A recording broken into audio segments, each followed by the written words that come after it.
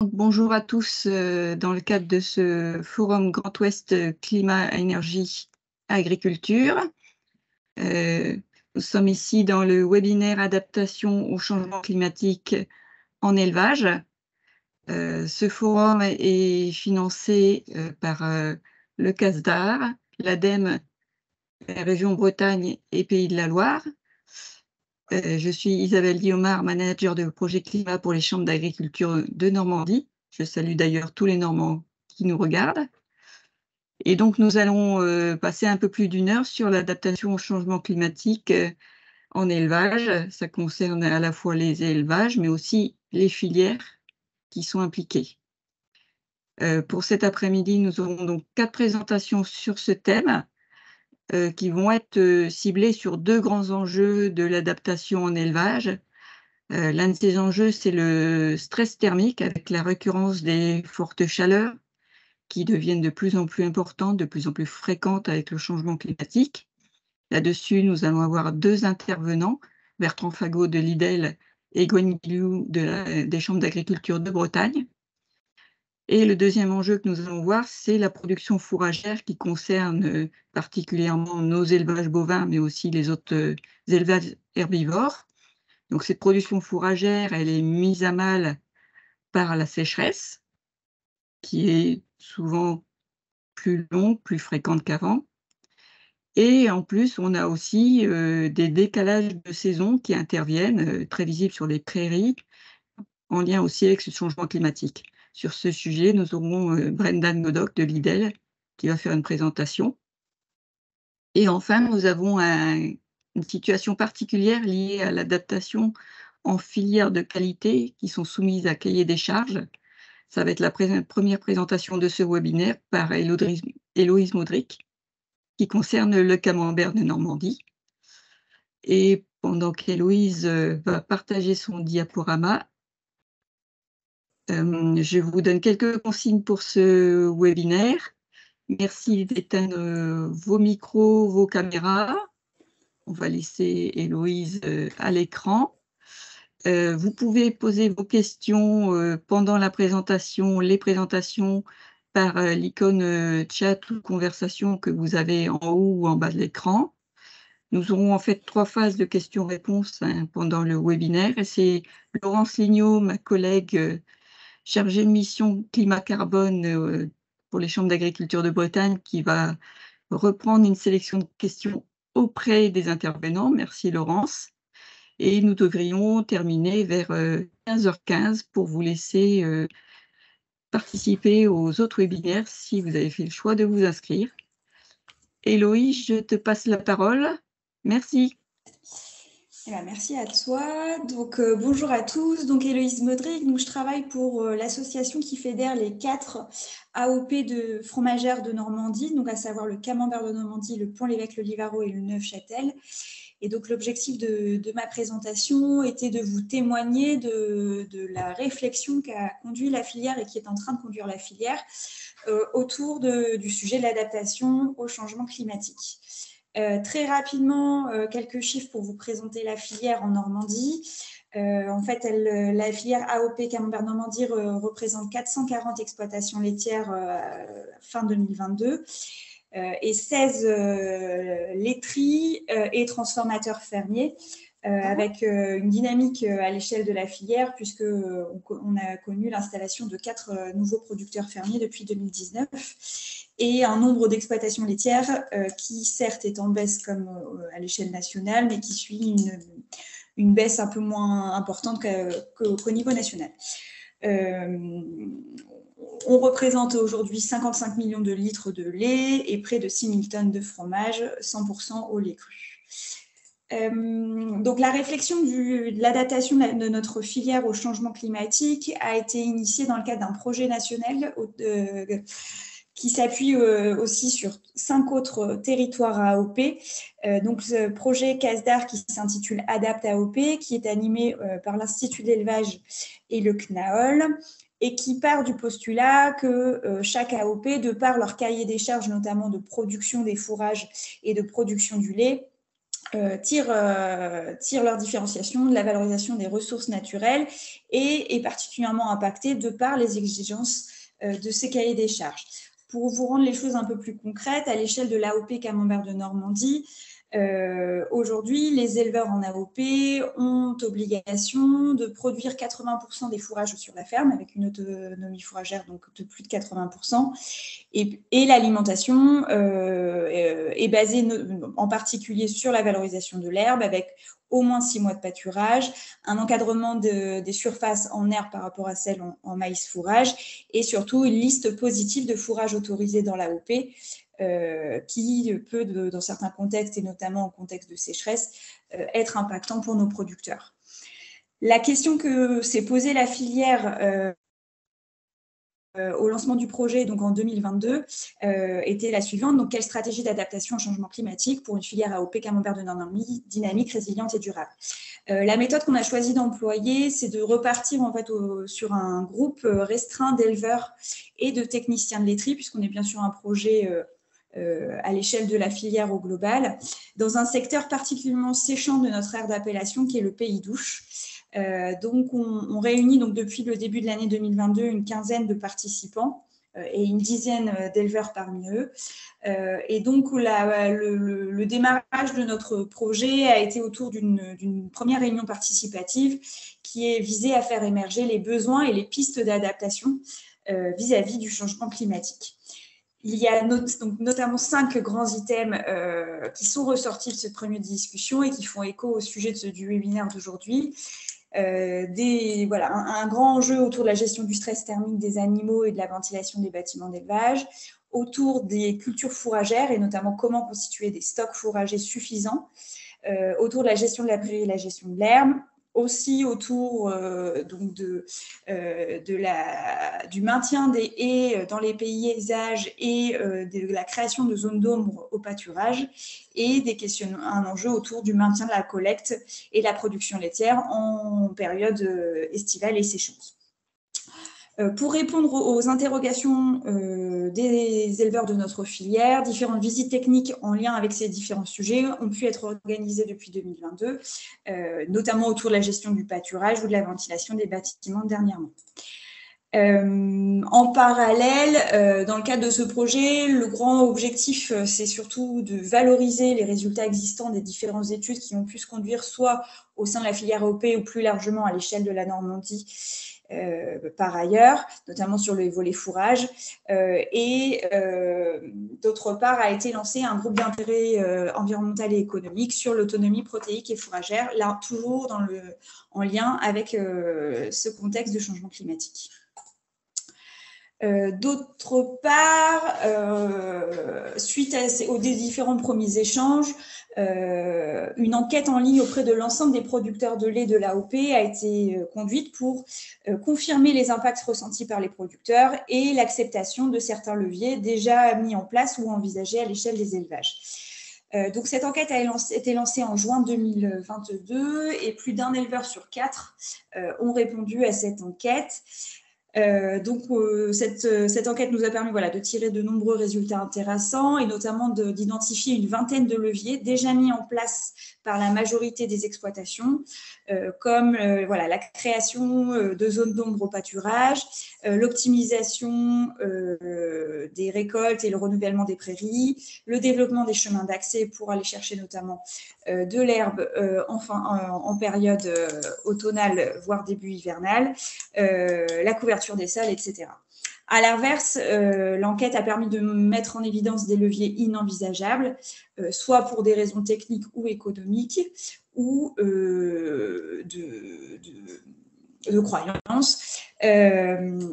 donc, notamment, le levier irrigation est ressorti comme majoritairement non envisagé par les producteurs, la diversification de la race également, en lien aussi avec nos cahiers des charges, et la baisse de la production laitière, inenvisageable pour 52% des producteurs. En parallèle, euh, euh, comme le projet Adapt AOP, comme je le disais, euh, vise à, réfléchir à une stratégie à l'échelle de la filière, une enquête similaire a été conduite auprès des laiteries. là encore, sur les impacts ressentis, les leviers mis en place, que ce soit à l'échelle de la collecte ou de l'atelier fromager. Là encore, des leviers qui ressortent en particulier sur les questions de l'utilisation des ressources, l'autogénération d'énergie, la formation à l'éco-conduite des chauffeurs laitiers, par exemple, euh, et les économies en eau, autour des questionnements autour de l'optimisation des procédures de nettoyage, en fromagerie notamment. Euh, pour finir, les perspectives euh, de ce projet et donc des, réflexions de la filière. Euh, l'objectif, comme je disais, on est reparti d'un groupe restreint de producteurs, mais c'est bien de partager à l'échelle de l'AOP dans son ensemble et d'animer une, réflexion plus globale à l'échelle donc de, l'Assemblée générale de l'ODG et formuler un plan d'action plus précis pour répondre à ces questions de changement climatique. Et dans un second temps, dans le cadre du projet, nous aurons l'opportunité d'essayer d'évaluer l'acceptabilité des leviers qui auront pu être définis. Euh, acceptabilité au sein des opérateurs de la filière, éleveurs et transformateurs, mais aussi auprès des, pouvoirs publics ou des consommateurs. Merci de votre attention et je reste disponible s'il y a des questions. vous pouvez poser vos questions à travers la conversation euh, du webinaire. Donc n'hésitez pas à, poser vos questions.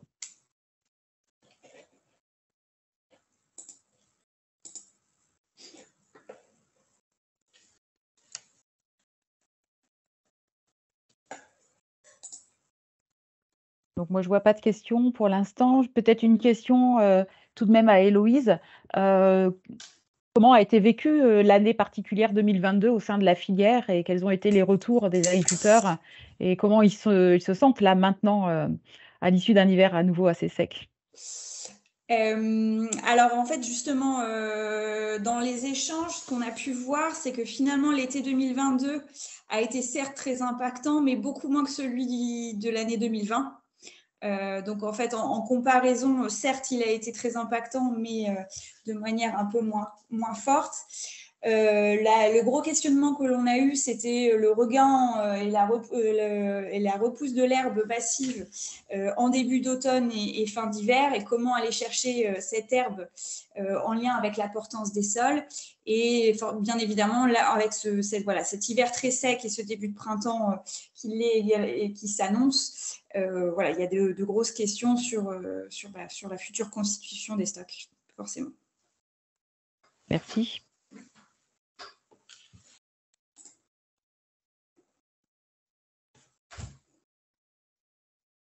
Alors, je ne sais pas si c'est le système de conversation qui ne marche pas, mais je n'ai pas d'autres questions, donc on va pouvoir, euh, on va pouvoir enchaîner.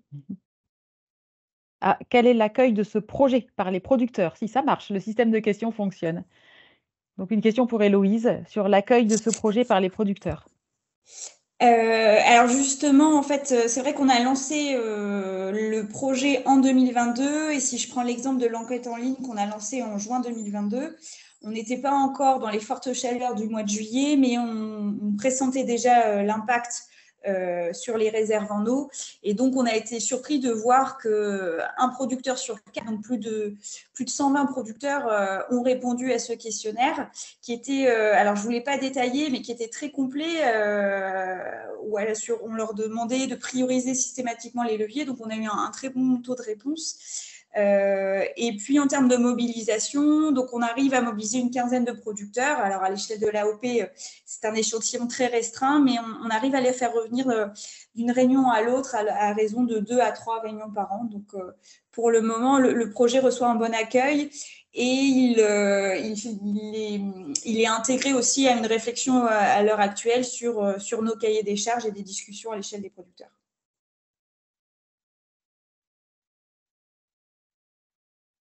Merci.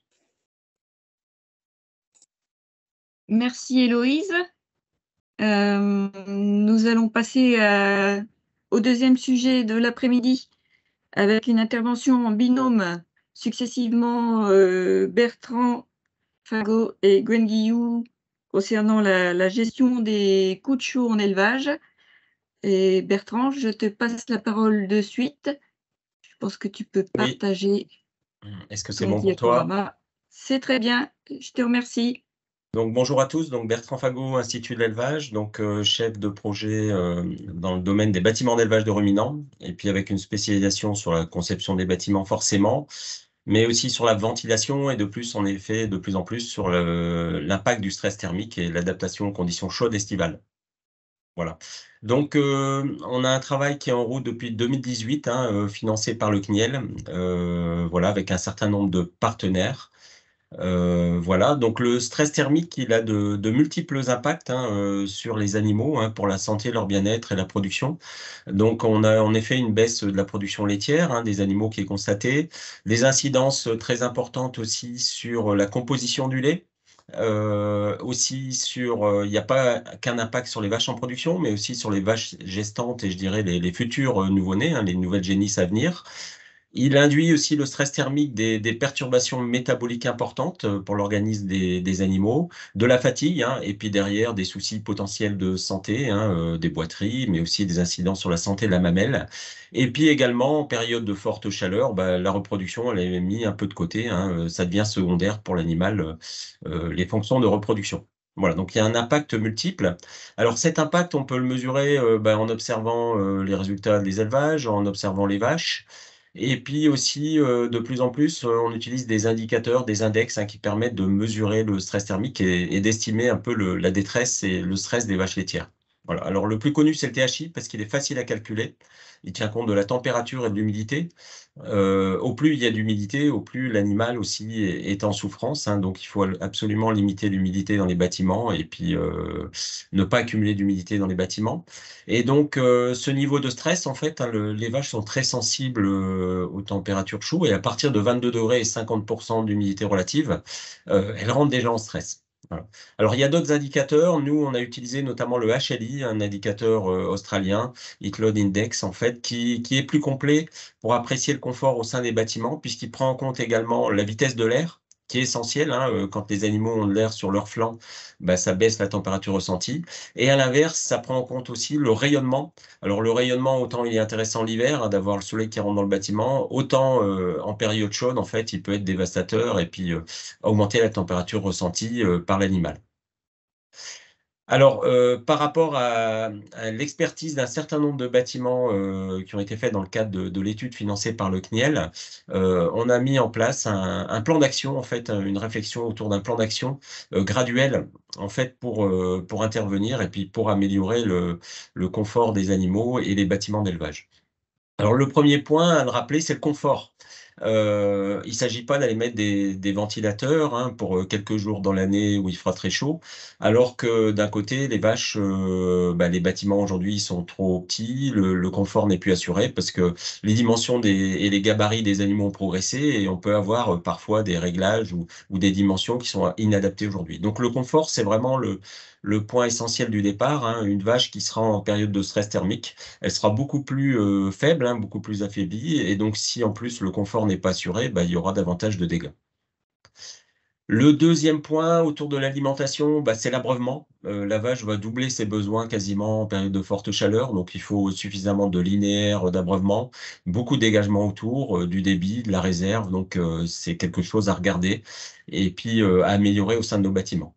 Au niveau de l'alimentation également, c'est de mettre à disposition bah, des fourrages, des top fourrages, c'est là la, complexité, et puis je dirais euh, des fourrages qui conservent bien et qui gardent un maximum de fraîcheur. Donc ça peut passer par euh, une réflexion sur les silos, euh, leur hauteur, leur orientation, leur largeur hein, pour avancer suffisamment les fronts d'attaque, mais aussi mais aussi euh, à loge, hein, par euh, offrir de l'ombre à loge. Il faut une ombre à loge pour que le, maïs en fait ou le fourrage en fait conserve à loge et, ne s'échauffe pas, comme on voit sur la photo du bas. Point suivant, c'est le rayonnement. Alors on a euh, jusque-là beaucoup construit des bâtiments pour, pour l'hiver, mais aujourd'hui en fait il faut changer le paradigme et construire des bâtiments en fait qui soient adaptés aussi aux conditions chaudes même en système pâturant, puisqu'on a de plus en plus d'animaux qui, en période chaude, hein, même quand on a beaucoup de pâturage, hein, mais quand l'herbe ne pousse plus en juin, juillet euh, et août, hein, bah, souvent les après-midi, il vaut mieux les, les rentrer en bâtiment, euh, qu'elles aient l'eau et l'aliment à proximité, et puis les ressortir plutôt la nuit euh, pour qu'elles puissent se rafraîchir. Donc les bâtiments, aujourd'hui, on doit prendre en compte le rayonnement. Alors, euh, le rayonnement peut être direct, comme on voit en haut à droite. Hein. Euh, donc, il y a le soleil qui rentre dans le bâtiment. Et donc là, on voit l'effet, on voit tout de suite, on observe le regroupement des animaux. Donc, c'est assez parlant. En bas à gauche et en bas à droite, donc on a un impact du rayonnement indirect. Donc à gauche, en fait, c'est à travers un mur et un bardage. Hein. En fait, le, soleil euh, euh, rayonne également à l'intérieur du bâtiment et les vaches ne fréquentent pas la rangée de logettes en bas à gauche. En bas à droite, bah, les, vaches se rassemblent dans les zones les plus sombres du bâtiment, euh, puisqu'il y a un rayonnement via la toiture qui est assez important. Et donc, malgré que le bâtiment soit ventilé avec des ventilateurs, bah, elles ne vont pas dans les zones ventilées, mais dans les zones les plus sombres. Alors le rayonnement, pour gérer le rayonnement, comment on peut le réduire? Ben, On construit de plus en plus, comme sur le schéma en haut à gauche, un des bâtiments qu'on appelle bioclimatiques, c'est-à-dire avec des avancées de toit qui permettent de bénéficier de l'ensoleillement l'hiver, mais l'été, comme le soleil est plus haut, ben, avec cette casquette, en fait, on fait de l'ombre à l'intérieur du bâtiment. En bas à gauche, il y a d'autres solutions comme euh, l'utilisation textile ou de rideaux qu'on va plus ou moins ouvrir en fonction euh, du soleil. On a d'autres solutions comme repeindre les, tôles éclairantes en toiture avec de la peinture euh, telle que utilisée par les séristes. Donc on peindra par l'intérieur des bâtiments. Dans certains cas, on conseillera l'isolation des toitures, notamment quand le toit sont bas par rapport euh, aux aires de vie des animaux. On va réduire de plus en plus les hauteurs de maçonnerie, bardage sur les côtés, on va ouvrir de plus en plus. Et puis, ça passe aussi par une réflexion sur la végétalisation des abords plutôt que euh, le, bétonnage systématique des abords. voilà. Autre point, c'est la ventilation. Donc, on a un air euh, vicié qui a tendance à stagner davantage dans les bâtiments euh, en période chaude. Donc, on va euh, ouvrir vraiment de plus en plus les bâtiments en partie basse et en faisant attention là aussi de, ne pas faire entrer en fait les rayons du soleil à l'intérieur du bâtiment. Donc, c'est ce qu'exprime le schéma du milieu. Donc ça passe par euh, des démontages de bardage au nord et à l'est, hein, sans risque. Et dans les autres côtés, hein, au sud et à l'ouest, bah, il faut faire attention justement au rayonnement. Donc on peut aménager des trappes, des rideaux. Donc il y, a, différentes solutions qui existent. Alors, solution de recours, hein, euh, c'est bien essentiel en effet de d'abord réfléchir à la ventilation et la réduction du rayonnement au sein des bâtiments. Il ne s'agit pas d'aller mettre des ventilateurs dans une boîte fermée où on va recycler en permanence de l'air vicié et humide. Euh, l'intérêt des, ventilateurs, ça peut être par contre d'amener en effet des vitesses d'air au niveau des flux des animaux. Et donc à ce moment-là, on va réduire l'impact du stress thermique. Et puis dans certains cas, en effet, des bâtiments qui ventilent mal, euh, ça pourra améliorer un peu la ventilation. Alors, il faut être vigilant sur les solutions de ventilation mécanique. Hein. il faut choisir du bon matériel et puis ne surtout pas sous-dimensionner. Sinon, on se rend compte qu'en période chaude, hein, euh, ce qui se passe, c'est des regroupements euh, d'animaux, comme on voit sur les deux photos. Donc, à droite, c'est un, matériel très ancien qui est plus très efficace qui est plus efficace du tout hein, par rapport euh, au matériel qu'on a aujourd'hui. Et puis en bas, sur la photo en bas du centre, hein, c'est plutôt un, sous-dimensionnement, en fait, un manque d'équipement du bâtiment. Et on voit des rassemblements d'animaux très forts, donc ce qui induit en fait un stress qu'on ne recherche pas justement pendant ces périodes de forte chaleur. Alors, dernière solution, c'est utiliser l'eau. Alors, on parle de bromisation, douchage. Alors, ce sont vraiment pas des techniques à mettre en premier en avant. Hein, euh, euh, voilà, ça peut être dévastateur si on augmente l'humidité dans les bâtiments. Donc, il faut plutôt utiliser cette eau en fait pour rafraîchir les animaux. Donc, euh, on utilise de l'eau, mais on cherche à l'évaporer en fait pour baisser la température. Alors, soit dans l'environnement de l'animal grâce à la bromisation, soit directement la température corporelle de l'animal en utilisant le douchage. Donc toujours dans des lieux plutôt ouverts et puis bien raisonnés. Et ça doit être des séquences euh, alternatives, hein, donc intermittentes, pardon, et couplées généralement à de la ventilation mécanique en fait pour évaporer après le plus vite possible. Voilà, donc en résumé, donc on a un plan d'action qui été défini avec des actions prioritaires autour de l'abreuvement, l'alimentation, l'ombrage, euh, la, réduction du rayonnement direct et indirect et une amélioration de la ventilation naturelle alors que les deux dernières actions, ventilation mécanique, brumisation, douchage, viennent vraiment en complément, quand le reste, je dirais, n'a pas été euh, suffisamment euh, efficace. Donc voilà, donc pour aller plus loin, vous avez de nombreuses ressources disponibles sur le site du CNIEL. Euh, donc il y a au moins 5-6 brochures et ça se complète au fur et à mesure. Il y a une vidéo qui synthétise aussi le plan d'action, donc je vous mets le lien.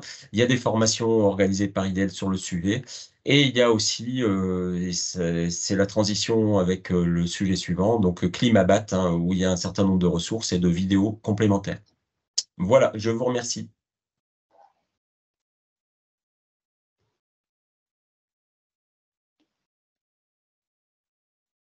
Est-ce que vous faites un petit peu les questions par rapport à Bertrand ou on fera la suite Non, non, on fera à la fin. donc Gwen, c'est à toi. Ok. Ben, je me présente, je m'appelle Gwen Guillou, donc je suis euh, conseillère avicole à la Chambre d'agriculture de Bretagne. donc, pour faire la transition avec ce que disait Bertrand, moi, je vais vous présenter Climabat.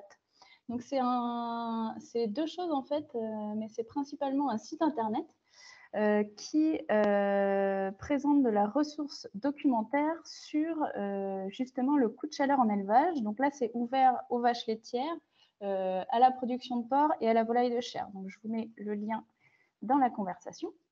ça permet de travailler sur trois axes. Le premier, c'est comprendre le stress thermique, donc comprendre ce que ça fait sur l'animal et à partir de quand on parle de stress thermique, adapté du coup à chaque production. Euh, de anticiper et de gérer le coût de chaleur. Donc, c'est une ressource documentaire qui est accessible à tout le monde. Je vous ai mis quelques infographies pour que vous voyez un petit peu à quoi ça peut ressembler, mais je vous laisserai aller voir euh, sur le site internet qui est disponible. Deux voies pour s'adapter. Euh, on va parler d'anticipation. Donc là, c'est vraiment une réflexion sur le long terme ça peut passer évidemment par différents investissements et ça rejoint un petit peu le plan d'action euh, que Bertrand vous a présenté tout à l'heure. Euh, il y a des réflexions autour de la ventilation, de la conception des bâtiments, de l'isolation, de l'étanchéité, de la mécanisation, de la brumisation. Et évidemment, c'est adapté en fonction de euh, la production que les éleveurs font. Pendant la saison chaude, là, c'est des actions qui sont vraiment sur le court terme. Et dans ces cas-là, il faudra on va dire, vérifier, s'informer et adapter sa conduite d'élevage, ce que je vais détailler un petit peu. Vérifier, c'est d'abord vérifier l'entretien du matériel. Donc, ça ne se fait pas évidemment le jour où il va y avoir un coup de chaleur, mais un tout petit peu avant, si possible.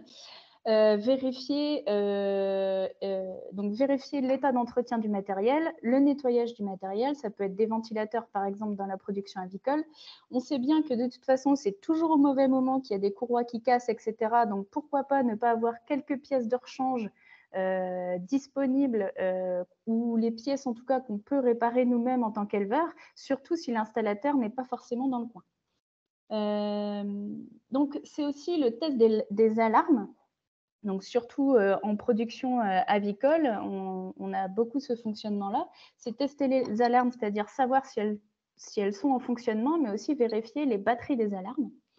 Euh, ça peut être aussi réfléchir sur l'approvisionnement en eau. On se rend compte finalement qu'entre le fait de l'abreuvement des animaux et en plus si on rajoute des solutions de douchage ou de brumisation, ça consomme quand même beaucoup d'eau. Donc à l'heure actuelle, la ressource en eau est vraiment une question, je pense, euh, pour, euh, pour tout le monde et c'est un petit peu pour ça qu'on est là aujourd'hui.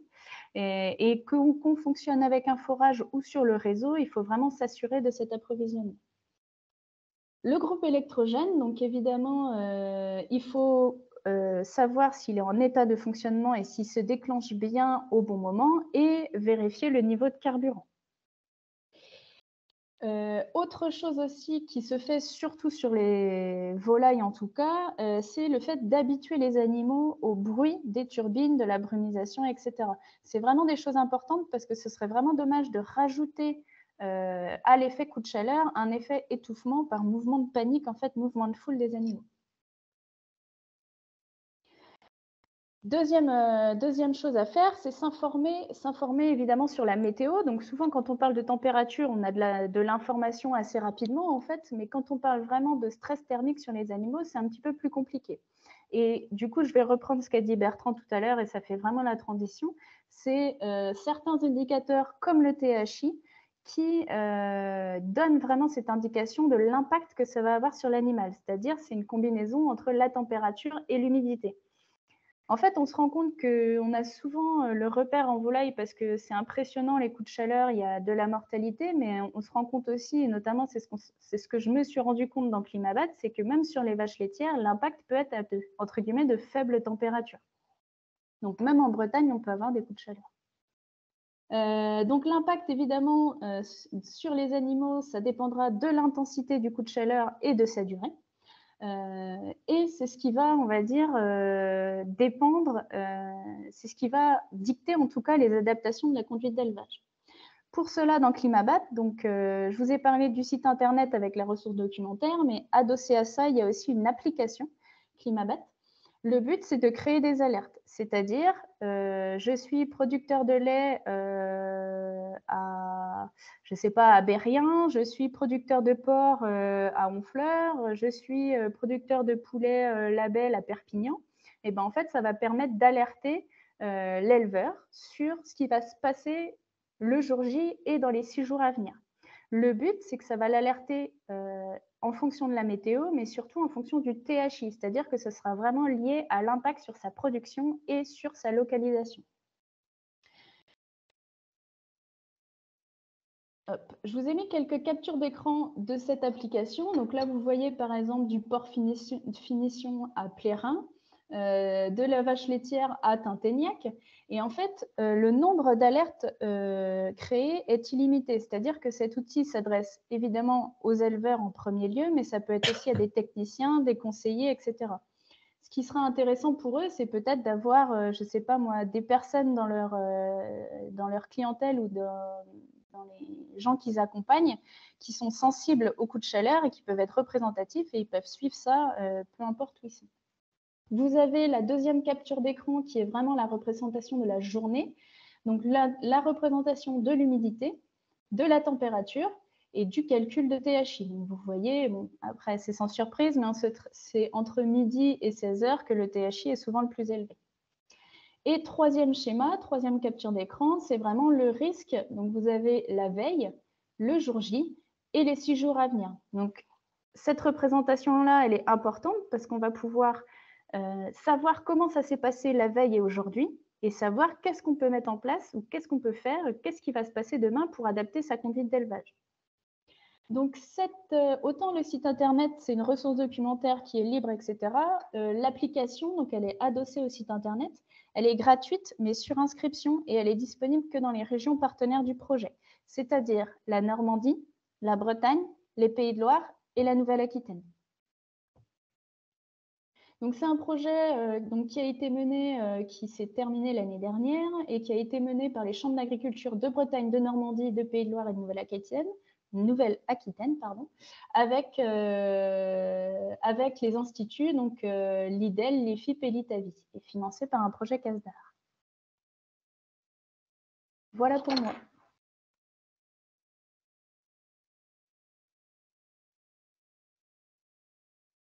Ben, merci pour, pour cette présentation. Alors du côté du, chat, il y, a, un certain nombre de questions qui sont, qui sont arrivées. Une question plutôt pour Bertrand. l'implantation des bâtiments, notamment leur exposition par rapport au soleil et par rapport au vent, est-ce qu'il y a des préconisations particulières sur ce point? Alors oui, euh, sachant que l'implantation, elle est très délicate puisqu'elle tient compte de, beaucoup de paramètres, hein, et notamment les, vents les plus fréquents, euh, pour balayer le bâtiment correctement. Euh, donc ça, c'est le premier critère. Et puis après, dans chaque site, il y a des contraintes hein, d'implantation des bâtiments, de terrassement. Voilà. Alors ce qu'on peut voir, alors chez nous, on n'en est pas là, mais dans les pays du Sud, où il fait très très chaud, parfois, on entend des, préconisations, en effet, d'orienter plutôt les façades au nord et au sud, hein, c'est plus facile de gérer le qu'à l'est et à l'ouest, puisque dans les pays chauds, euh, quand le soleil se lève à l'est bah, et que la nuit a été chaude, bah, c'est déjà très impactant. Et à l'ouest, c'est très compliqué aussi de gérer en fait le rayonnement quand le soleil euh, décline, alors que le stress est maximal pour les animaux en fin d'après-midi. Donc chez nous, on n'en est pas là. Euh, on met encore la priorité sur les vents les plus fréquents. Mais euh, il faut faire attention à chaque bâtiment, en fait, de trouver des solutions en fonction euh, des façades, en fait. Hein. et, on n'utilisera pas forcément les mêmes choses si on est au, nord, à l'est, au sud ou à l'ouest. Et le plus délicat, en effet, c'est les façades à l'ouest. Ok, merci pour cette réponse. Une question pour, pour Gwen, pour changer. comment, tout simplement, comment on charge l'application Climabat? Alors, euh, moi, ce que je vous conseille, c'est que tout passe par le site internet. Ce n'est pas une application qui se trouve sur les, sur les stores. Il faut passer par le site internet, vous remplissez vos petites coordonnées et après, vous vous laissez guider. Euh, une assistante vous donnera vos codes et euh, vous pourrez télécharger l'appli via un lien et vous inscrire. Donc, c'est simple. Voilà. Il faut aller sur le site internet. une autre question, on a demandé s'il y avait des recommandations particulières pour les nurseries ou pour les bovins en engraissement. Oui, alors les, les, veaux hein, peuvent souffrir aussi de la chaleur, donc, euh, donc il faut absolument faire attention aussi au logement des, des veaux. Donc, euh, bon, la ventilation, c'est toujours essentiel. Euh, ce qu'il faut faire attention, c'est notamment les niches à l'extérieur quand il n'y a pas d'ombre. Donc, il faut trouver moyen de les mettre à l'ombre, hein, sous les arbres ou, à l'ombre. autant c'est très intéressant l'hiver par rapport aux aspects sanitaires, autant l'été quand il fait très chaud. Et souvent, elles sont sur du béton en plus, donc ça rayonne encore plus. Euh, donc, trouver le moyen de, mettre les niches à l'ombre hein, sous des arbres, dans des bâtiments de stockage vide ou, mettre des voiles d'ombrage. Et alors, pour les bovins longrés, bah, les préconisations sont les mêmes que pour les vaches laitières. Hein. On a des animaux en plus qui sont toujours forcément dans les bâtiments. Euh, alors que les vaches laitières, on peut les sortir la nuit pour qu'elles se rafraîchissent souvent, euh, si les bâtiments sont pas adaptés. Donc, les préconisations pour les bâtiments sont les mêmes, hein. ouvrir sans rayonnement. Et puis, voilà. Ok, alors l'histoire des niches pour les veaux, ça, ouvre vers une autre question aussi, euh, qui est finalement, on a, des, aménagements qui sont, qui sont recommandés pour éviter la chaleur, les coups de chaleur, mais est-ce qu'ils ne deviennent pas contraignants, ces aménagements, quand on est en hiver? Et qu'on est dans un autre contexte? Non, c'est-à-dire que oui, ils deviennent contraignants pour les éleveurs, mais pas forcément pour les animaux. Et donc, euh, notamment les vaches laitières sont, sont peu sensibles aux conditions extérieures, vu que le, euh, la température de confort, c'est 2 à 15 degrés. Et quand il fait très froid, la vache est très bien. À partir du moment où elle a l'abri euh, l'humidité et puis l'absence de courant d'air. Donc, ça va plutôt dans le bon sens et quand on améliore, quand on ouvre les bâtiments pour, l'été, généralement on se rend compte que tout compte fait d'ouvrir l'hiver quand il n'y a pas de pluie, quand il n'y a pas de vent, eh ben, c'est bénéfique aussi, on augmente les débits de ventilation et l'ambiance dans les bâtiments. Alors où il faut faire un peu plus attention, c'est pour les plus jeunes animaux et pour euh, peut-être les petits ruminants, mais la tendance, elle est là et, voilà. Ok, merci. Euh, une question aussi sur euh, la brumisation. Je ne suis pas sûre d'avoir bien compris la question, mais comme c'est Isabelle qui l'a posée, elle peut la compléter. et les, histoires, les questions de coût Ouais, j'ai cru comprendre, oui, je l'avais lu dans le fil. Euh, donc, en effet, euh, il y a des fois des solutions rapides qui sont mises en avant, comme la bromisation. Mais en effet, ça peut être euh, bien comme ça peut être le pire, si on augmente les niveaux d'humidité dans le bâtiment. Et parfois, bah, on voit des, des, choses qui se montent dans, dans les élevages, euh, bricolage du magasin du coin, euh, bromisation en permanence. Donc euh, voilà. Donc s'il fait plus de 60% d'hygrométrie, et, c'est le cas dans certaines de, de, vos régions, je pense de l'Ouest, la bromisation en fait peut, peut être plutôt un désavantage qu'un avantage. Quoi. La bromisation, c'est quand il fait sec, par intermittence, c'est-à-dire on bromise et après on, on évapore. Euh, voilà, donc c'est assez technique et c'est pas la première solution, quoi. Il faut travailler sur le plan d'action sur les points euh, mis en avant au départ, quoi. D'accord, donc la brumisation. La, euh, brumisation, c'est pas la solution miracle, hein, même dans les autres productions, effectivement, comme, comme Bertrand l'a dit, la brumisation, c'est dans certaines conditions météo, notamment quand il fait sec, où là, on va pouvoir, on va dire, utiliser cette, cette brumisation, mais autrement, en fait, il faut vraiment privilégier la vitesse d'air sur les animaux. Donc surveiller l'ITH. Donc une petite question justement, euh, quand on parle euh, d'un ITH euh, avec un stress extrême, c'est des valeurs qu'on a déjà atteintes dans l'ouest de la France. Ça, il se passe quoi dans les élevages? Alors, enfin, pour la partie ruminant, cet été, on a eu en Loire-Atlantique, on a eu des niveaux jusqu'à 80 de THI maximal. Voilà. Mais ce qui va jouer, ce qu'il faut regarder, c'est la notion de charge thermique. C'est-à-dire que, c'est ce que disait Gwen, c'est la, euh, la persistance, en fait, de ces hauts niveaux THI. Et en, vache laitière, ce qu'on sait, ce qu'on c'est que bah, si euh, la nuit, la température baisse euh, et le THI baisse en dessous de 68 pendant quelques heures, l'animal a la capacité à récupérer. Voilà. Et c'est pour ça que cette année, en 2022, on n'a pas eu, on a eu des impacts, mais pas si important qu'on aurait pu croire, parce que si les nuits sont fraîches, que les bâtiments sont ouverts et qu'il y a un peu de vent euh, pour rafraîchir le bâtiment, on arrive à, réduire les impacts. Donc l'animal récupère. L'animal peut récupérer dans ce cas-là. Voilà. Le problème, c'est que si pendant trois jours, tu as des nuits chaudes au-dessus de 22, 22 degrés, là, on va commencer à avoir des impacts plus importants. Comme sur nous. Est-ce que le paillage qui est choisi, le choix de paillage est déterminant pour, euh, pour le stress thermique des animaux ou pas? On parle de paillage euh, plaquette bois ou paille? Mmh, d'accord. Donc en paille, par exemple, euh, bah, ce qui peut être conseillé, mais on va, euh, c'est de, tenir compte de la température de la litière et de curer peut-être un peu plus souvent. en effet, l'été. Mais voilà, c'est sûr que les, animaux qui sont sur béton intérieur, hein, pas soumis au rayonnement, c'est un peu plus frais. Les matelas aussi, mais on va pas mettre tous les bovins sur des logettes matelas, quoi, loin de là. Euh, ce qui est vraiment important, c'est d'ouvrir les bâtiments sans rayonnement, euh, l'abreuvement, l'alimentation. Et voilà, pas, pas tout de suite, euh, voilà, pas le couchage. Quoi. Ça vient en point secondaire. Ok, je crois qu'on a le temps pour une dernière question. On a, on a, vous avez dit qu'effectivement, un bovin pouvait boire deux fois plus d'eau quand il fait très chaud. Peut-être que c'est ça qui a amené la question sur finalement, est-ce que les animaux peuvent boire de l'eau pluviale qui serait récupérée sur, sur le site des exploitations agricoles. Alors, je ne sais pas s'il y a quelqu'un qui peut répondre à cette question-là. Ben, oui, c'est souvent des questions. Euh, voilà, ça se pratique. Ce qu'il faut faire attention, c'est la qualité de l'eau. Euh, l'eau pluviale, elle est souvent polluée par les toits, par les gouttières, par euh, voilà.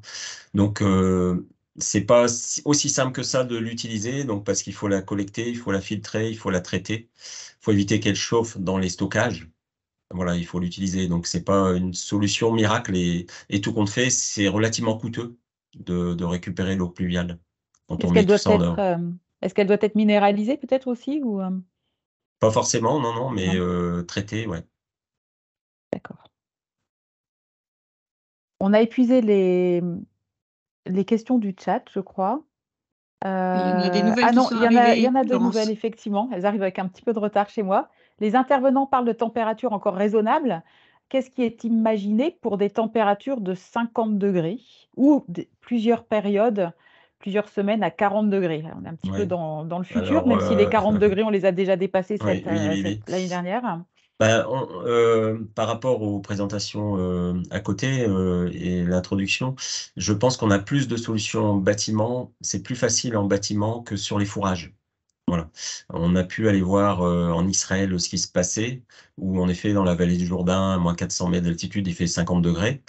Euh, ils ont des solutions, quoi. Et tout ce qu'on a dit, là, donc c'est des bâtiments euh, très ouverts, il faut de l'ombre.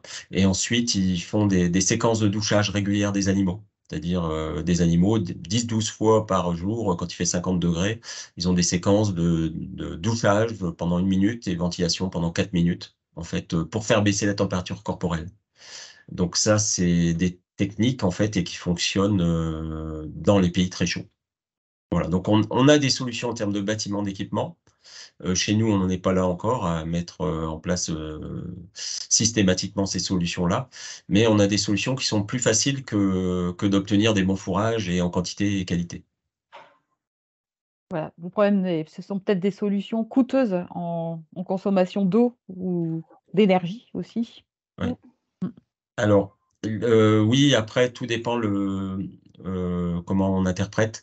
Ce qui est possible, c'est quand on douche que l'animal euh, ait besoin de moins d'abreuvement, puisque, mais ça, on ne l'a pas encore mesuré, c'est-à-dire que quand, l'animal va boire, ça participe à la thermorégulation de, de boire. Hein, donc, il consomme plus en période chaude. Si on baisse sa température corporelle, c'est possible que euh, on consomme moins d'eau d'abreuvement. Et en effet, la ventilation mécanique, euh, euh, c'est pas adopté dans, tous les élevages. Hein. Et malheureusement, aujourd'hui, euh, parfois, euh, on préfère se jeter sur la ventilation mécanique plutôt que de réfléchir au changement des bardages, à, la réduction du rayonnement, qui sont des éléments prioritaires. on n'a pas parlé de la génétique. Est-ce que vous avez des choses à dire sur... Donc en, vache laitière, oui, il y a des travaux euh, euh, lancés euh, au niveau national sur cet aspect-là.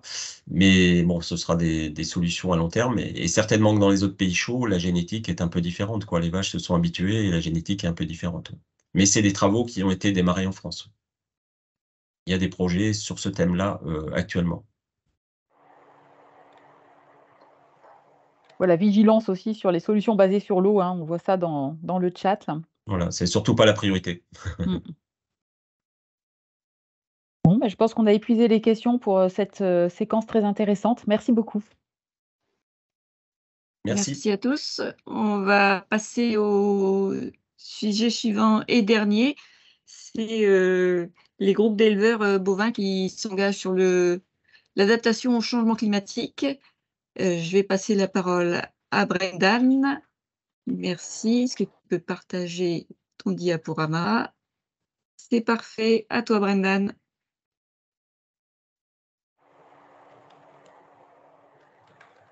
Brendan, il faut que tu ouvres ton micro. Hop là, ouais, ça sera beaucoup plus facile pour vous. Euh, donc, euh, Brendan Godoc, moi je travaille au service fourrage et pastoralisme de l'Institut de l'élevage. Donc, en effet, là, on va parler un peu plus de fourrage. Euh, il y a huit groupes bovins qui se sont donc engagés dans un parcours collectif là, dans le cadre de deux projets, Climavège et Ferme Adapt, au niveau des régions Bretagne et Pays de la Loire. Donc, moi, je coanime ces groupes-là avec les différents organismes que vous voyez en bas, en bas de l'écran. Donc, ces huit groupes sont situés sur du coup toute, toute la région Bretagne et Pays de la Loire. Alors n'arrive pas à avoir tous les départements, mais on, a déjà une bonne, une bonne diagonale entre la Vendée et puis le Nord Finistère. Donc des groupes à chaque fois animés par des chambres d'agriculture, par donc des organisations CIVAM ou bien par aussi des groupements d'agriculteurs biologiques. Euh, donc euh, voilà, ces groupes-là sont engagés en 2021 et en 2022 sur euh, un parcours de deux ans et demi, avec à chaque fois une rencontre tous les six mois pour travailler collectivement sur l'adaptation au changement climatique. Donc en fait, c'est surtout se rencontrer, discuter de ce que fait chacun, comment on vit l'année, comment on a vécu les dernières années, quelles sont les solutions qu'on a trouvées, mais aussi s'informer sur les prédictions du changement climatique dans leur zone, euh, parler aussi collectivement de, solutions techniques, euh, donc vraiment des choses très concrètes avec des visites de ferme, et puis co-construire aussi des systèmes euh, qui sont adaptés au, climat de demain. Donc, tous ces groupes-là, ils sont en lien avec plusieurs actions qui sont dans, les projets Ferme Adapt et Climavège, donc financés par les régions et qui, visent à créer des connaissances, des outils, des cartes et des références sur cette, thématique d'adaptation au changement climatique euh, donc dans toutes les filières. Et euh, là, précisément, je vous, parle aujourd'hui donc euh, des filières bovins, lait, avec un peu des fois aussi d'agriculteurs, éleveurs bovins viande qui sont présents dans les groupes. Donc, alors, ils s'adaptent tous à, un, nouveau climat. tout le monde est un peu confronté, que ce soit de la, en Vendée ou même au Nord Finistère, à une nouvelle, une nouvelle pousse de l'herbe, un nouveau calendrier là, qui, se voit très très bien sur l'année 2022 et puis sur les cinq dernières années. Euh, donc là, vous avez à l'écran euh, des simulations de pousse de l'herbe avec le simulateur de culture Styx développé par l'INRA. Donc c'est un simulateur de culture qui, qui donc a été euh, renseigné avec des données climatiques de modèles de, climatologues donc sur le siècle à venir jusqu'à 2100. Donc, on a choisi un, scénario pessimiste, euh, donc où euh, les activités humaines continuent leurs émissions de gaz à effet de serre, le RCP 8.5, et avec ces données climatiques, on informe le modèle qui nous euh, calcule une pousse de l'herbe, donc là avec des, moyennes sur des pas de 20 ans. Donc, on voit que les médianes de, ces pas de 20 ans, là, elle, évolue énormément. dans toutes les zones, on voit que l'herbe va arriver plus vite et de plus en plus tôt euh, dans l'année. En fait, c'est les températures hivernales euh, qui vont vraiment euh, apporter une pousse qu'on n'avait pas jusque-là au niveau de l'hiver. donc ça, on le voit très bien sur, sur cette année 2023 et puis les, les, années précédentes. donc une pousse plus rapide et plus tôt dans l'année, plus dense aussi sur le printemps. L'herbe est une plante en C3, donc elle va profiter enfin l'herbe, les graminées et les légumineuses dans les prairies vont profiter de l'effet CO2 du changement climatique. Euh, l'effet CO2 donc améliore euh, plus de CO2 dans l'atmosphère, améliore la photosynthèse des plantes. Euh, donc on va récupérer un peu plus de rendement au printemps.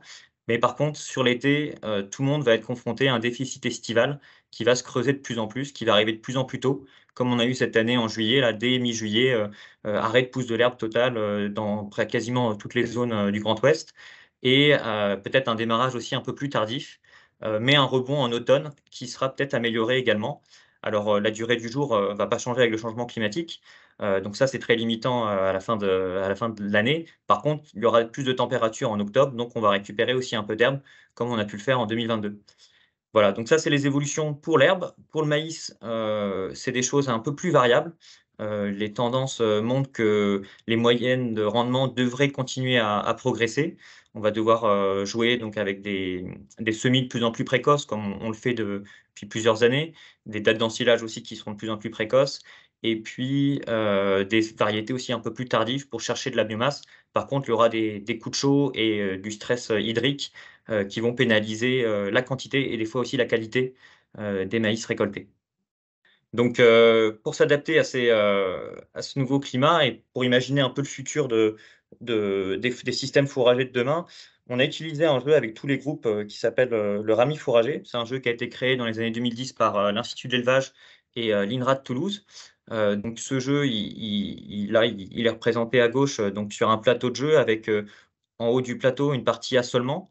Donc, on va récupérer des données climatiques donc, de modèles euh, climatiques euh, donc du futur.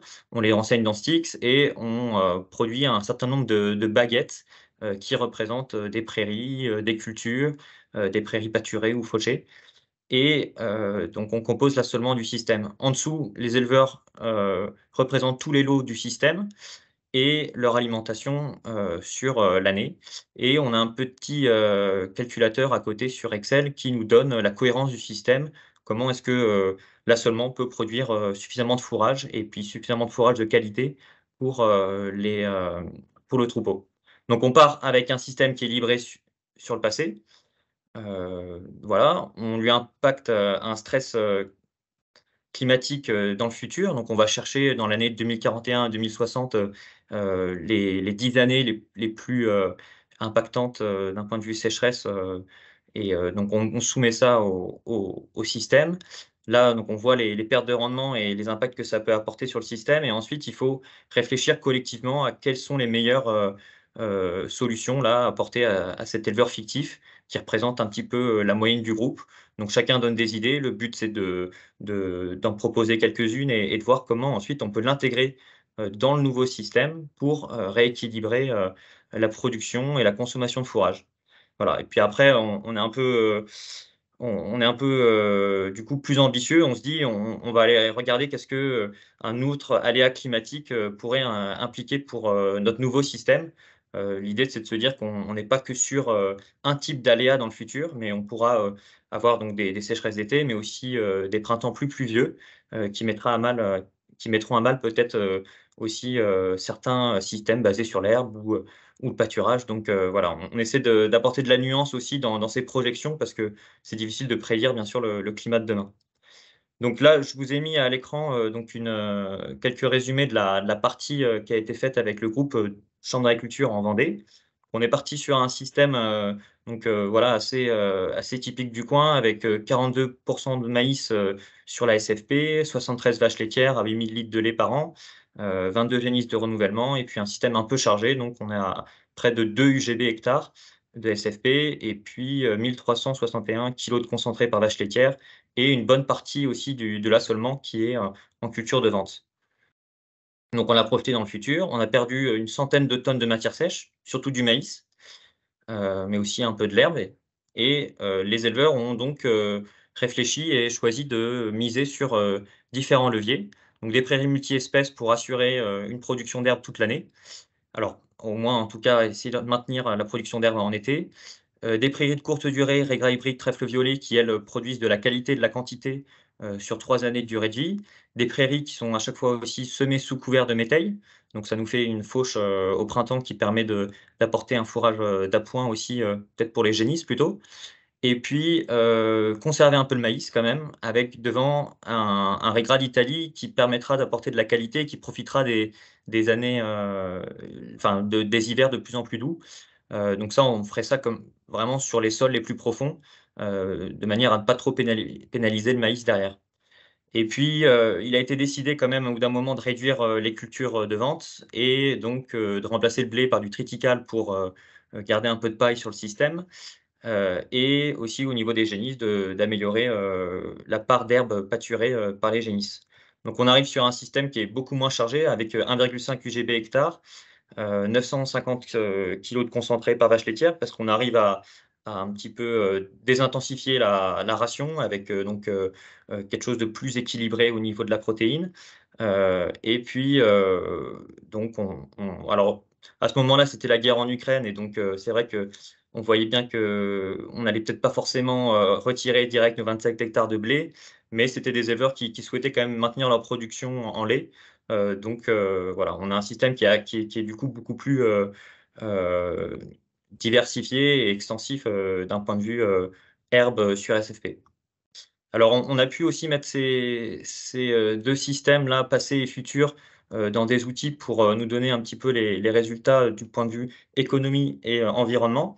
Donc, avec la FRQMA, on a calculé des coûts de mécanisation qui nous ont permis de calculer ensuite des coûts du système d'alimentation.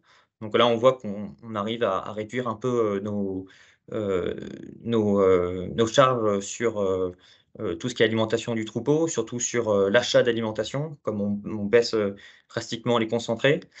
Et puis, au niveau de l'empreinte carbone aussi, on arrive à diminuer notre empreinte carbone bah, du fait, en fait qu'on arrive à aussi réduire les concentrés, donc moins de soja importé, peut-être un peu moins de mécanisation aussi, parce que plus de pâturage. Donc voilà, donc ça, ça nous permet de voir aussi que bah, voilà, c'est assez réconfortant. Ces changements peuvent apporter aussi de la, de la performance.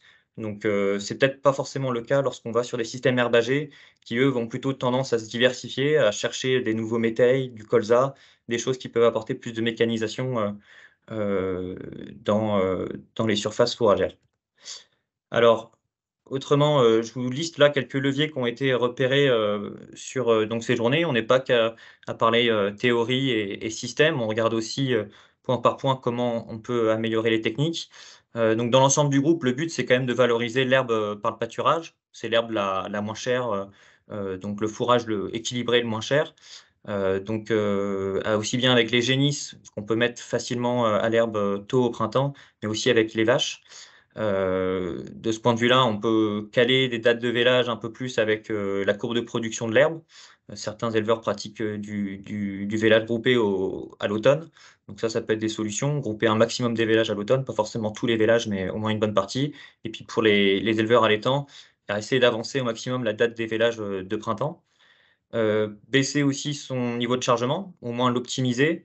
Donc soit ça se fait par le troupeau en baissant le nombre de génisses de renouvellement et l'âge au premier vélage, ou bien en convertissant des, surfaces en culture en fourrage. Ça peut être des métailles grains qui sont euh, ensilés ou des maïs grains qui sont ensilés. Et puis au niveau des prairies, à chaque fois, aller au-delà du simple régras anglais, trèfle blanc. Même les éleveurs du Nord Finistère le disent, euh, on ne peut plus compter sur euh, le régras anglais trèfle blanc d'avant. Il faut mettre de la fétuque élevée, il faut mettre des, graminées un peu plus euh, résistantes et puis diversifier les légumineuses. Et il y a quelques espèces aussi d'intérêt qui, qui, sont, qui sont discutées dans ces groupes. Alors la luzerne, lorsqu'on peut en faire, même le trèfle violet, ça, ça représente aussi des, des, très bons potentiels. Euh, il y a deux espèces qui font un peu euh, débat dans les groupes, c'est le dactyle et la chicorée. Ils ont des, périodes euh, donc phénologiques, enfin des développements beaucoup plus rapides et en décalé avec le reste des espèces. Donc, il y en a qui détestent, d'autres qui, apprécient ces, espèces-là dans leur prairie. Et le lotier corniculé aussi là est, pas mal apprécié chez certains éleveurs. notamment là sur l'été 2022, il a pu montrer des bonnes productions lorsque tout était sec. Alors autrement, euh, quelque chose qui est maintenant systématique, c'est euh, les prairies euh, semées sous couvert de métail. Ça permet vraiment d'améliorer l'implantation de la prairie, de réduire le salissement par des adventices. et puis ça fait 4-5 tonnes de matière sèche au printemps qui sont ensilées et qui, sont toujours ça de prix. Et aussi, autrement, sur le renouvellement des prairies sur prairies, il y a un éleveur qui, qui a proposé une prairie dite fond de sac, avec donc un renouvellement fait au mois de mai après un pâturage bien, bien ras, un travail du sol superficiel et puis un, semi-direct dans la prairie avec plein d'intercultures type sarrasin, facélie, sorgho, févrole, qui vont être ensuite pâturées par des vaches taries ou des génisses au mois d'août et retravailler légèrement pour ressemer une prairie dedans et booster un peu la prairie qui commence à peiner au bout de quelques années. Et autrement, sur les, les fourrages stockés, essayer de diversifier, ne pas que mettre sur du maïs, même si euh, le maïs est quand même gardé dans la plupart des groupes. Hein. On n'abandonne pas euh, le maïs fourrage comme ça. il, a quand même du potentiel aussi sur beaucoup de sols. donc, faire des mélanges de céréales protéagineux immatures et alors, la qualité ou de la quantité hein, à voir. Et puis aussi faire des colzas fourragés, enrubanés ou pâturés. Ça, ça peut faire des économies aussi de stock assez importants sur l'automne. Donc voilà pour moi. donc les, groupes sont toujours en train de, progresser dans leur parcours et dans leur réflexion. Vous pouvez trouver plus d'infos sur notre site internet et puis sur les comptes Twitter que vous voyez à l'écran. On essaie d'en parler au maximum et donc voilà, n'hésitez pas à, me contacter également ou contacter les partenaires. je vous remercie. Merci Brendan. Alors du côté des questions, on s'étonne peut-être de ne pas avoir entendu parler du sorgho. Oui, alors il y a beaucoup d'éleveurs qui en parlent, hein. euh, beaucoup d'éleveurs qui ont testé et la plupart testé, ils en reviennent quand même pas mal, hein. euh, le sorgho marche bien, euh, quand le maïs marche bien aussi. donc finalement, c'est souvent le maïs qui reste quand même, la plante, pour faire, du stock de qualité. Euh, alors le sorgho, il, se sème plus tard et puis il prend du temps aussi à lever, donc il euh, faut s'assurer qu'il y ait des pluies parce qu'il a quand même besoin d'eau aussi au démarrage. Donc il y a eu quelques années comme ça qui ont été euh, un petit peu pénalisantes pour le sorgho. Et puis au niveau de la, conservation et de l'ensilage, c'est aussi plus tardif. Donc en Bretagne, on peut avoir des dates d'ensilage de sorgho qui vont vraiment être trop loin avec des problèmes aussi de, conservation et, de qualité ensuite du, du sorgho. Mais ce qu'on voit, c'est peut-être des sorgho multicoupes euh, qui, chez les éleveurs herbagers, peuvent apporter quand même pas mal de, répit euh, pour le pâturage, quoi, assurer un, peu d'herbe verte au pâturage. Euh, sans, voilà. Donc, mais bon, c'est donc assez, assez partagé comme, comme sujet. Alors, tant qu'on est dans les, alternatives, on pose la question de la betterave fourragère aussi.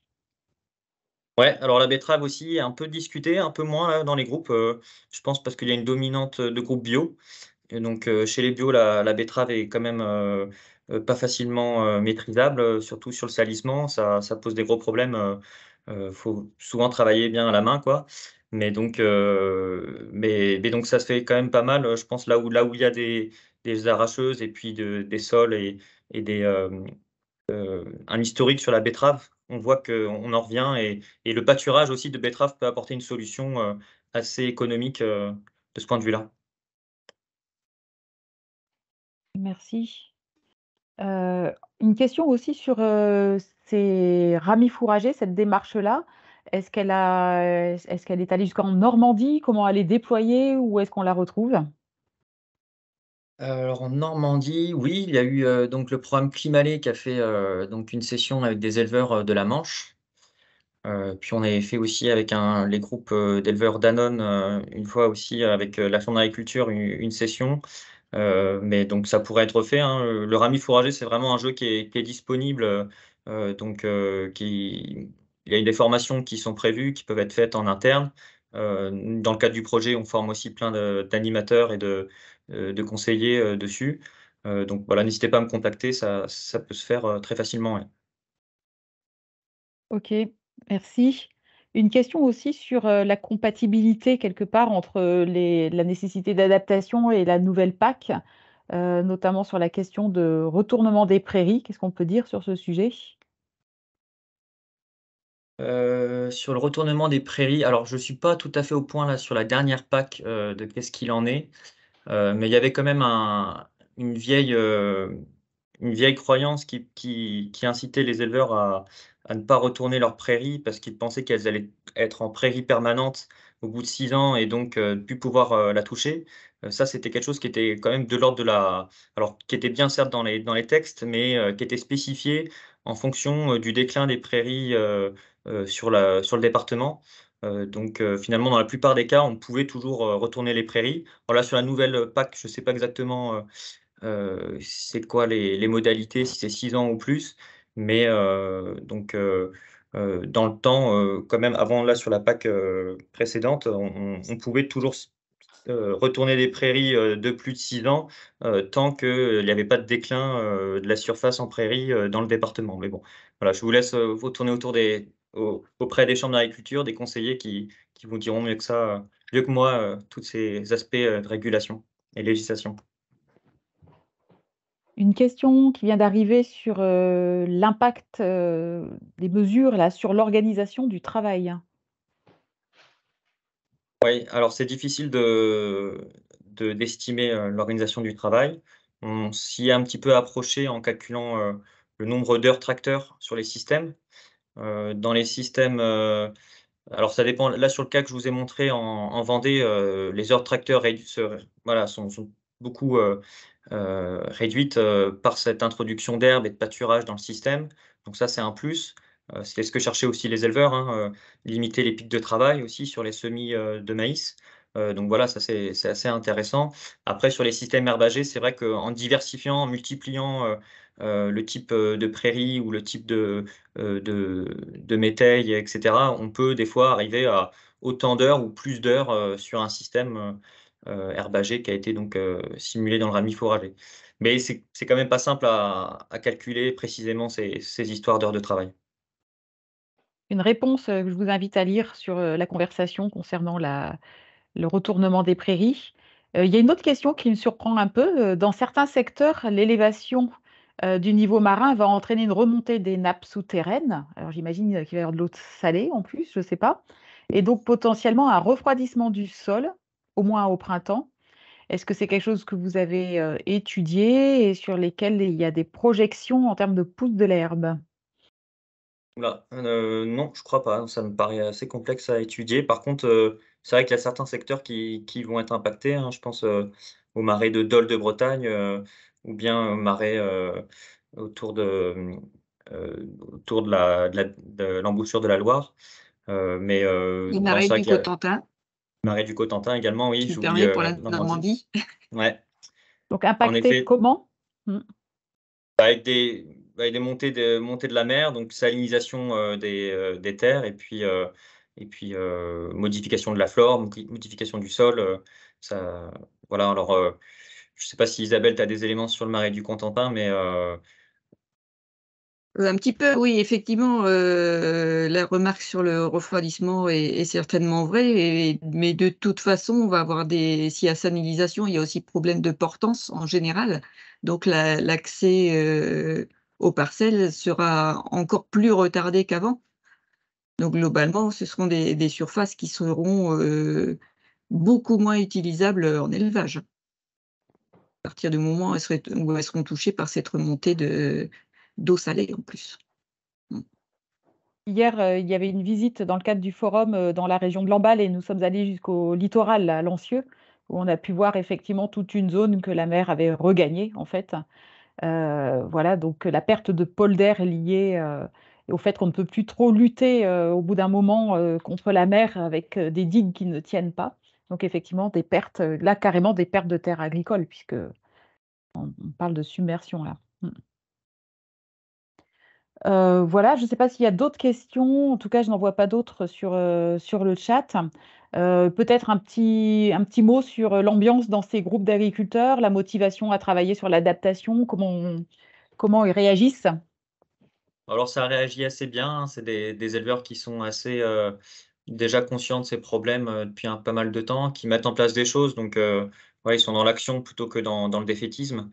alors, sur les, premières journées, c'est vrai que des fois, quand on présente des, des, évolutions long terme, ça paraît des fois un peu dur souvent, je leur demande aussi c'est quoi leurs autres préoccupations que l'adaptation au changement climatique? Et il y en a plein d'autres. Donc euh, euh, voilà, ils se disent on est déjà dans le Grand Ouest, euh, on n'est pas dans le Sud impacté sévèrement par les sécheresses comme peuvent l'être les éleveurs du Poitou-Charentes, par exemple. mais ils, voilà, pensent aussi, ils travaillent, hein, ils pensent renouvellement des générations. C'est peut-être plutôt sur ces axes-là qu'il y a de la préoccupation, de mon point de vue. OK, merci. Donc, je repasse la main à Isabelle pour les conclusions de ce webinaire. Oui, merci Laurence. Merci à tous euh, pour vos présentations. Euh, de vos conclusions, je pense que eh bien on a eu euh, des présentations riches en informations et en travaux. On voit qu'on progresse dans le domaine et que par rapport aux questions il y a quelques années, on commence à voir ben, des, pistes, des leviers qui se, qui se précisent. Donc ça, c'est plutôt rassurant. Euh, par rapport aux, questions qui peuvent se poser moi, j'avais repéré là, dans les diverses interventions et questions que la question de l'eau revient très fréquemment. pour nos élevages, on aura toujours la question de l'abreuvement. Je pense que c'est un sujet qu'il faudra qu'on traite de façon importante peut-être lors d'un prochain forum. Et j'avais noté la question des élevages en zone littorale, mais elle est venue. Donc, effectivement, c'est aussi une problématique qui va concerner nos, trois régions du Grand Ouest et qu'il va falloir traiter également.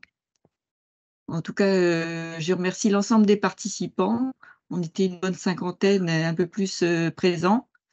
Merci à tous. Et puis, si vous participez au, au webinaire suivant, rendez-vous à 15h30 pour l'adaptation en culture pour N.